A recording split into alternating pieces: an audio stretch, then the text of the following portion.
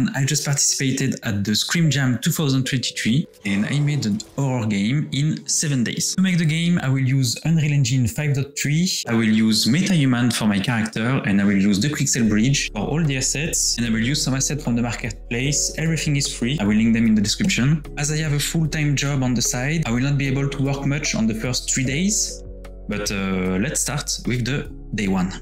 So I started scratching idea for the game. I got inspired by a game like Resident Evil, Alan Wake,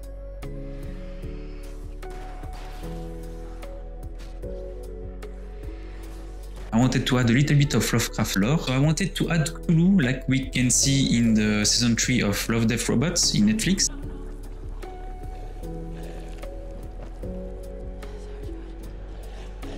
So we'll see how it goes. I focused this game jam in learning how to do cinematic. It's something I never did with Unreal Engine. I wanted to learn how to do it and try to make one. So we'll see that in the day 5. It will not go well. So I started by creating a character in MetaHuman. This character is called John and we will import it in Unreal.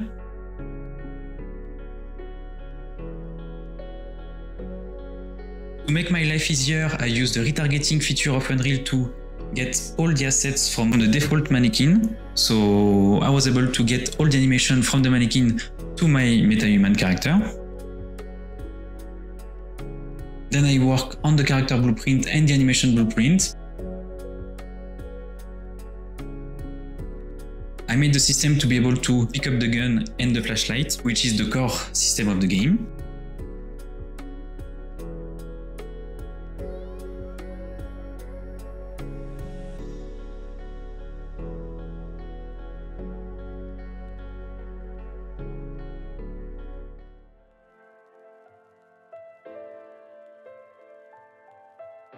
Let's work on the environment. We will try the new feature PCG, the procedural content generator. We will try to use this to make our forest.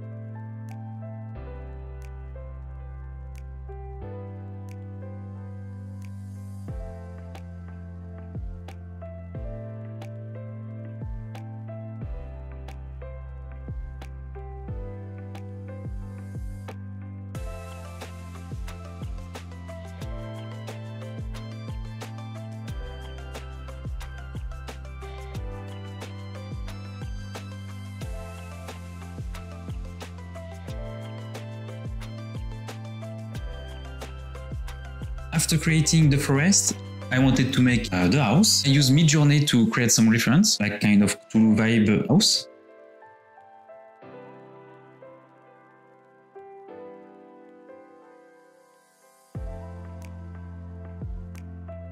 I tried to place assets from Quixel, but it didn't go well. It was a nightmare to put all the assets one by one. So I put all of that in the garbage. We couldn't work much in day 2 and 3 because I was working, so let's call it a day and jump to tomorrow. I just figured out that we can use modeling tools to create shape and make the house. So we will try to use it. It will make our life way easier.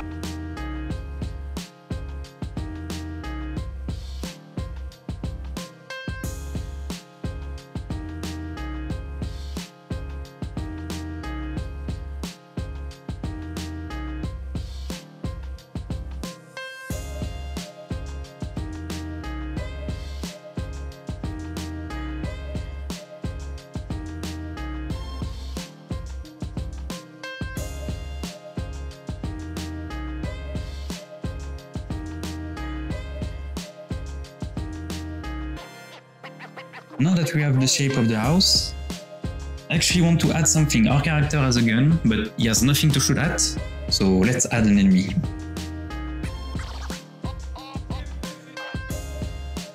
I made a simple AI system. When the enemy spawn in the scene, you find the player and go straight to him, run to him, and start attacking him straight away.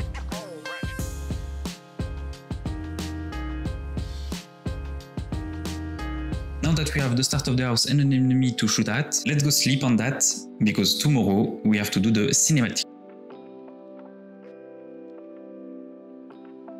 Okay, so let's work with Sequencer today and make an intro cinematic for the game. For the cinematic, I want to have the character in this car and driving through the forest to arrive to the manoir. So we'll make that. I had a lot of issue with the car. I wanted to place it step by step and changing the transform, but it was like sliding.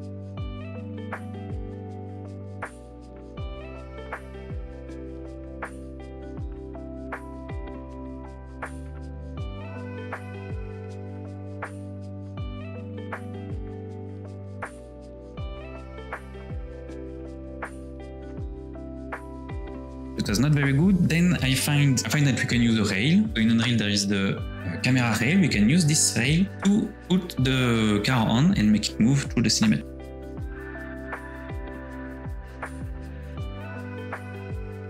But it still look very unnatural because there is no physics applied on the car. But we will see. So let's add the character now in the car. We place him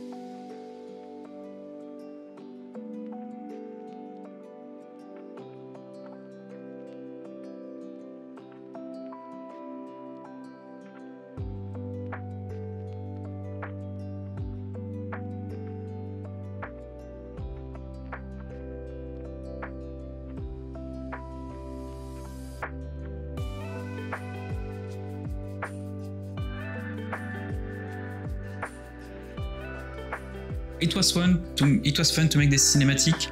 It looks very bad. I think to improve it, I should add some physics to the car to actually like simulate the physics of the car when it's roaming around on the floor. But I don't have the time to do that. In seven days, it's impossible. Let's forget about the cinematic. We learned a lot, but we will try to make it for another game. We will need to work a lot tomorrow because today we just did the cinematic. It took forever and it's not looking good. So tomorrow we have to work a lot, otherwise we are screwed. So let's call it a day and see you on day 6.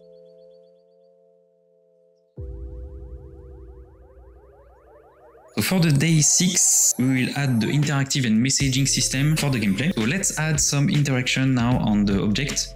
I cannot show you everything, you will need to test it out to see which object you can interact on because otherwise it will be a spoiler.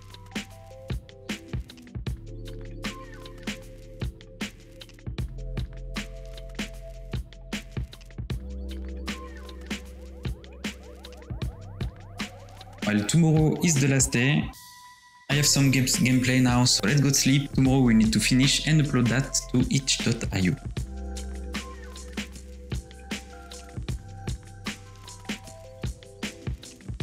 Okay, here we are on the last day. We will first test the game and see if there is any issue and fix them, and then we will upload that on itch.io. So it looks good, we will finish some few stuff that I still have to finish. We can build the game.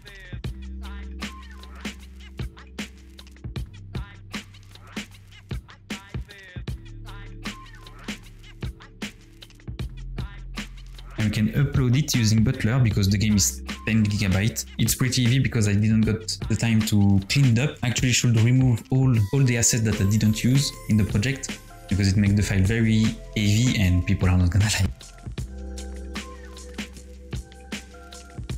Here we are, the game is finished and we got the result. So we got only 2 rated on the game because the game was heavy, people didn't really wanted to try it out.